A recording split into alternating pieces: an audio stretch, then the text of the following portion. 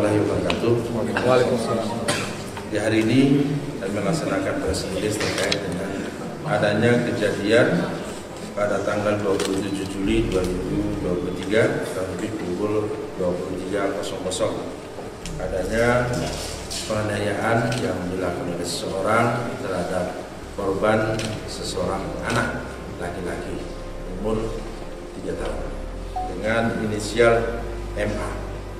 Kemudian dilanjutkan dengan adanya laporan polisi tanggal 28 Juli 2023 kemudian kita tindak lanjuti dengan kita melaksanakan olah TKP yaitu di eh, warung Kopi Nona Jalan Anggrek Raya nomor 10 Kecamatan Pangamukan dan juga melakukan pemeriksaan terhadap saksi-saksi. Ada empat saksi yang telah kita lakukan pemeriksaan kemudian juga telah dilakukan uh, visum data pertum yang di mana hasil daripada visum adalah ditemukan adanya satu buah luka memar berwarna merah di daerah bibir bawah.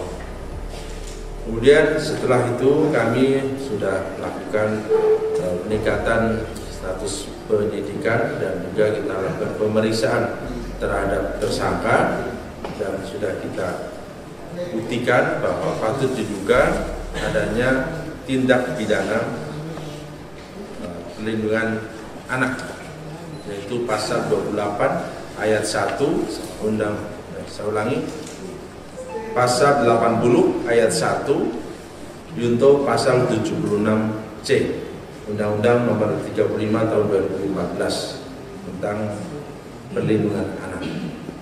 Demikian. Pak, ini kan sudah berstatus tersangka. Ya. Apakah langsung dilakukan penahanan atau seperti apa? Kalau tidak ditahan, apa pertimbangannya?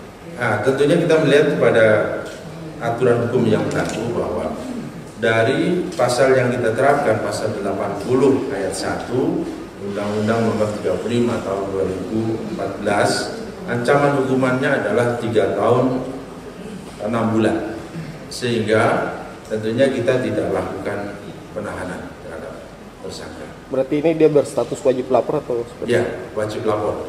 Sambil kita lakukan proses untuk pemberkasan terhadap berkas perkara tersebut. Jadi Pak kan terkait hasil visum ditemukan adanya luka berarti ada tindakan tindakan penganiayaan. Kenapa tidak ditetapkan pasal 170 ayat 1? Kenapa hanya undang-undang pelindungan? Kalau 170 itu kan pengeroyokan. Ini dilakukan oleh seorang. Nah, kemudian korbannya adalah anak-anak. Sehingga kita melakukan uh, spesialis yaitu Undang-Undang Perlindungan Anak. Pak, apakah akan ada upaya proses mediasi antara korban dengan pelaku ini ke depannya?